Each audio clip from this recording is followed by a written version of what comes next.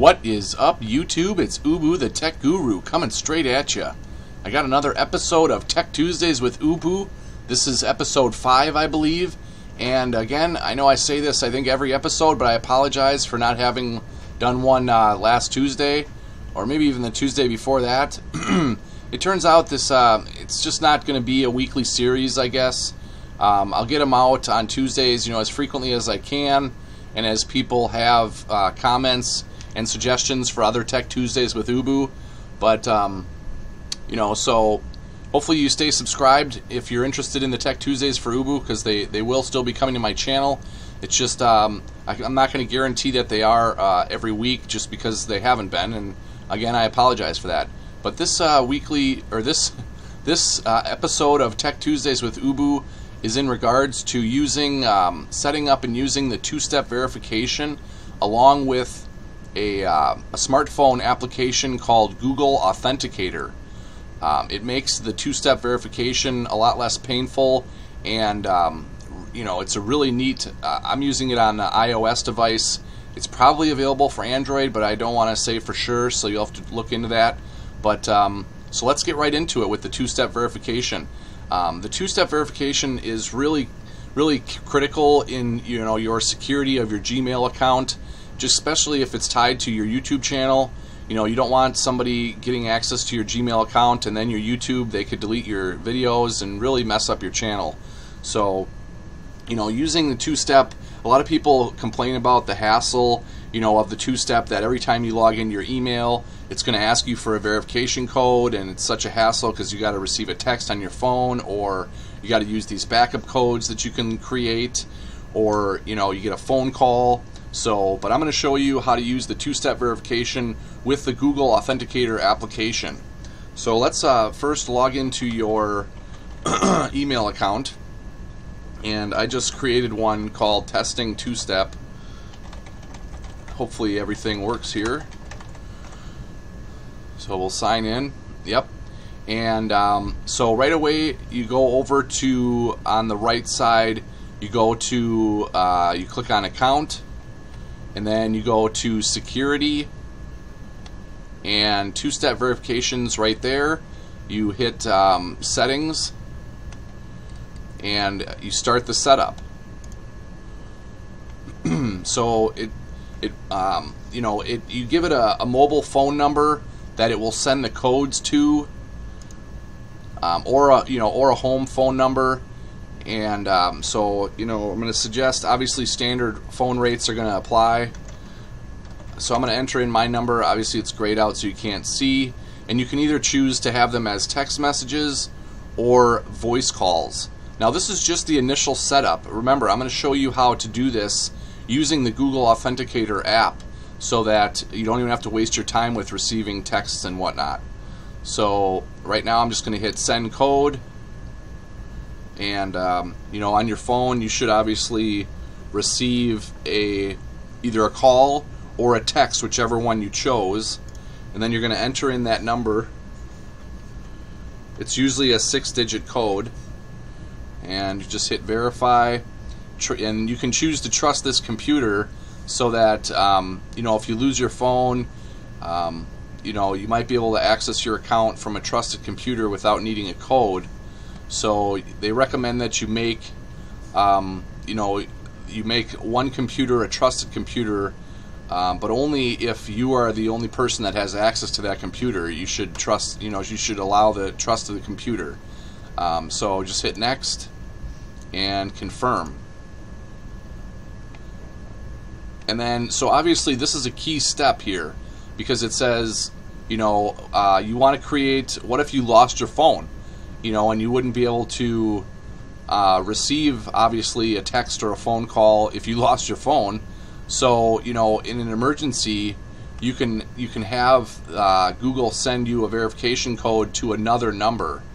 You know, it can be another cell phone number or a landline, um, and it won't be used unless you know unless they unless you ask them to. So you can add that phone number here, or here's this cool one here um, mobile application. Switch to an app to get the codes even when you don't have cell coverage. So this is the Google Authenticator app, I believe. So obviously, it does say here it's available for Android, iPhone, and BlackBerry. Um, you know, and also there's the backup codes. You can print out backup codes. So you just hit Show Backup Codes, you know, and it brings up this additional little list, and you can print this out and carry it in your wallet. Um, you know, and the backup codes work once, and they're they're saved. So this is obviously uh, a six digit, or actually it's a eight digit but there is two spaces and the spaces are required. So that's just something to take note of. Um, so you want to print those backup codes just in case. But um, so here I have the mobile app called Google Authenticator on the iPhone. And so you notice here it brought up this neat little um, barcode so you know you open up your Google Authenticator app on your phone on your phone so here's what uh, the Google Authenticator app looks like and I already have these previous uh, Gmail accounts set up with Google Authenticator, so they're grayed out so you can't see that. But there's a little plus symbol, see? So I'm just going to hit the, the plus symbol on the app, and then it's going to ask me to scan the barcode. So you can see this is what the screen looks like for adding, um, you know, adding a Gmail account to your Google Authenticator app on your uh, smartphone. And uh, so you just hit scan barcode on your phone.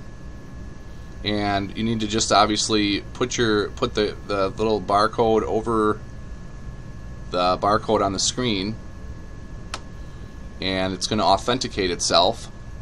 And then you're going to see so notice on my screen here there is a number 056754 but notice the little counter up here so the Google Authenticator uh, verification codes change you know I don't know what this is maybe it's 30 seconds they change every 30 seconds, so that's why I'm not too worried about you guys seeing my number here for this uh, this testing two-step at gmail.com account. So I'm going to go over here and uh, down at the bottom I enter in the code that uh, it's showing me. 993686 verify and save. Your Google Authenticator app has been successfully configured. Note, the codes generated by any previous instance of the Authenticator app will no longer work.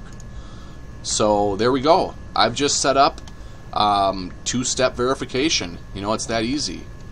And um, you know, like I said, you might want to create uh, another a backup phone, which I didn't do. You can add another phone number there, and um, you know, that's that's about it.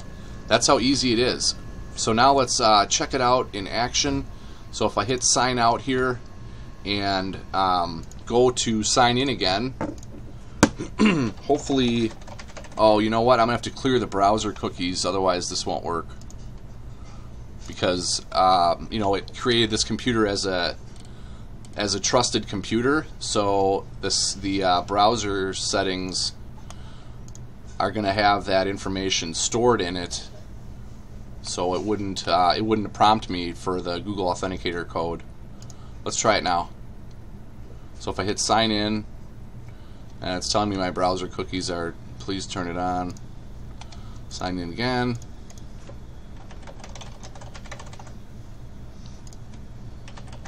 you gotta enter in the right password. So there this is what the screen looks like.